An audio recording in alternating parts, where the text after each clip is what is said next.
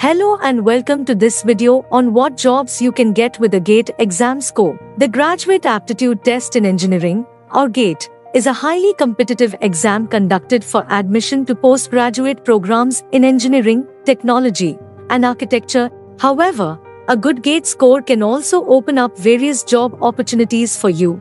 PSU jobs, research and development, RD, teaching jobs, private sector jobs, higher studies abroad, Let's take a closer look at each of these jobs. PSU jobs. Many public sector undertakings, PSUs, such as NTPC, BHEL, IOCL, HPCL, and many others recruit engineers through GATE scores. These jobs offer stability, good salary packages, and other perks such as medical facilities, accommodation, research and development, RD, jobs, a good GATE score can help you land a job in RD in various industries such as pharmaceuticals, biotechnology, and more.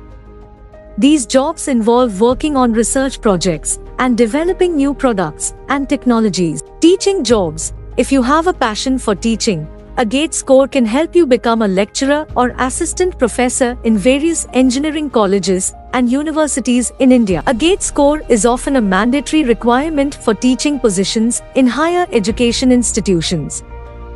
Private sector jobs. Many private sector companies such as Tata Steel, Reliance, Infosys, and many others also recruit engineers through GATE scores. These jobs offer good salary packages, growth opportunities, and a chance to work on challenging projects. Higher studies abroad.